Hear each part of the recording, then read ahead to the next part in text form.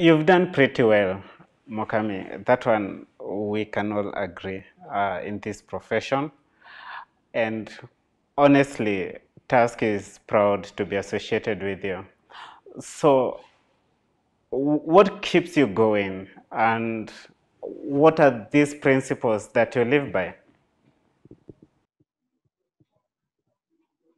Mm. Thanks, thanks, Njiru. Uh, I, I think Task is definitely something that I'm also proud to be associated with, um, and I'm very passionate about.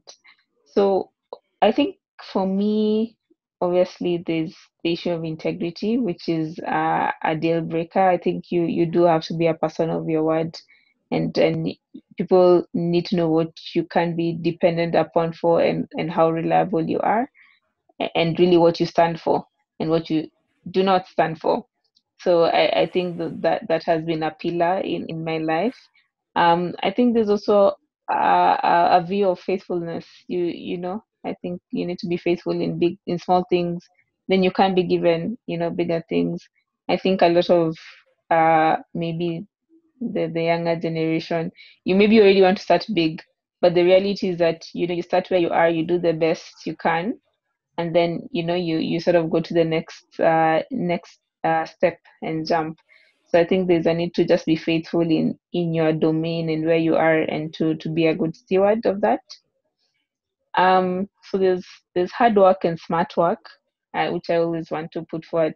So i think it's good to work hard but it's probably better to work smart and to be very strategic in terms of knowing what you want and what is the best way to get it and and in line with that one of the key things i encourage and i depend on is mentorship and coaching.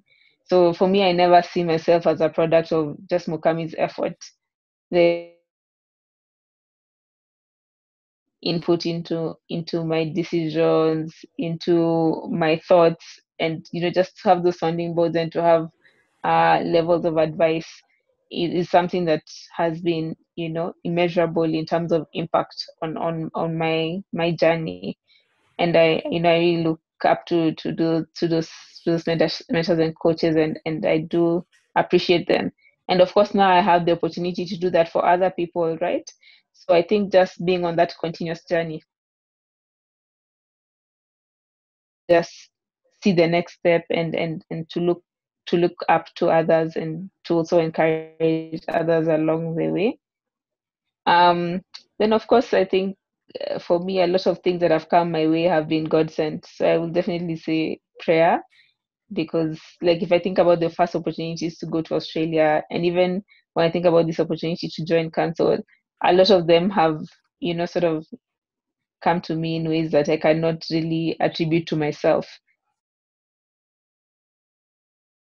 in my life uh, in terms of just being guided by god who obviously is the one who gives us the gifts we have right um, so so that that's probably what i'll say for now